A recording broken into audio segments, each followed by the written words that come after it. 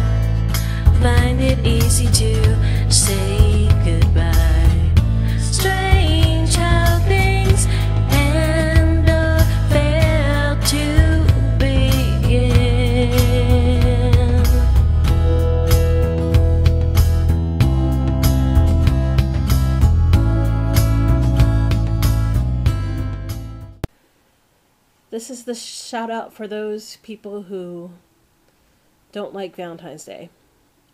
I did a broken heart.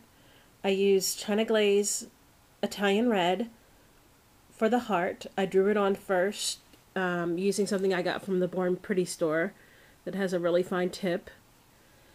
I then drew the heart on with that, filled it in the China Glaze, and then once that was completely dry, I'm going to add uh, the crackle that China Glaze just released in black, and then I sponge black around it.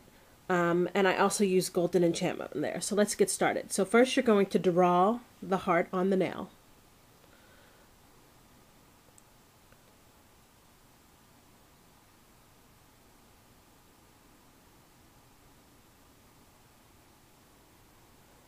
You can make it as big as you wanna.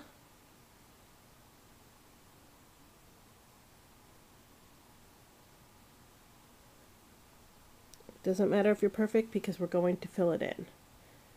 So you want to continue doing that on all the nails. You can do them different directions, whatever you want. Now you're just going to use your brush inside the polish and just paint on the inside very carefully.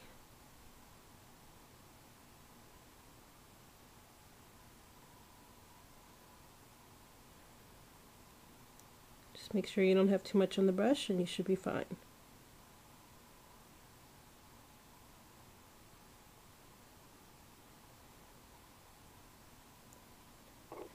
And there you go. So I'm going to leave every other one cracked. So since I cracked the thumb, I'm going to crack the middle finger and the pinky. And you just use a, um, a toothpick. You just let it dry a little bit.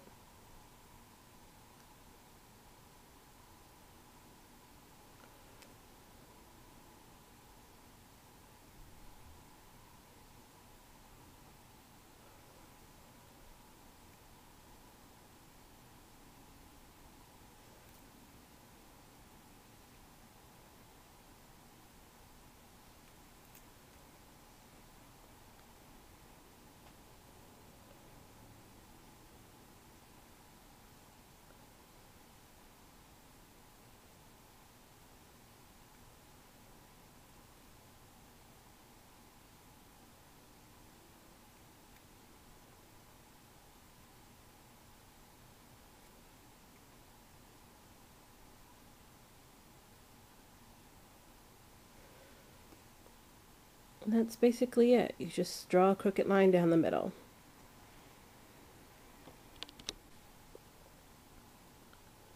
Now first, we're going to put a little bit of golden enchantment. You can do it over the whole nail if you want, but I like just doing it just around the area. It just gives a little bit of sparkle here and there, but I kind of avoid the heart.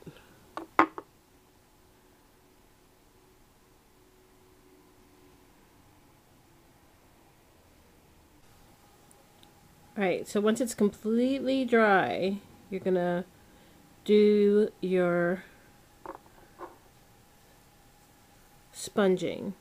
And you're just going to go around the outside of the heart. Because what you want to do is you just want it to look like it's smudged. Don't worry if you get it on your hand, you can clean up later.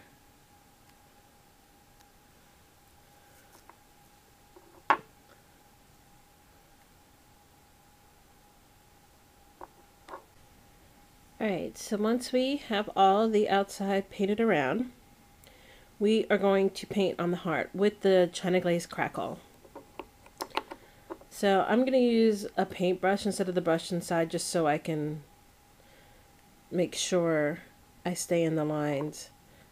Um, um, um, well, maybe I'll try. The red has to be completely dry. It's just very, very thick.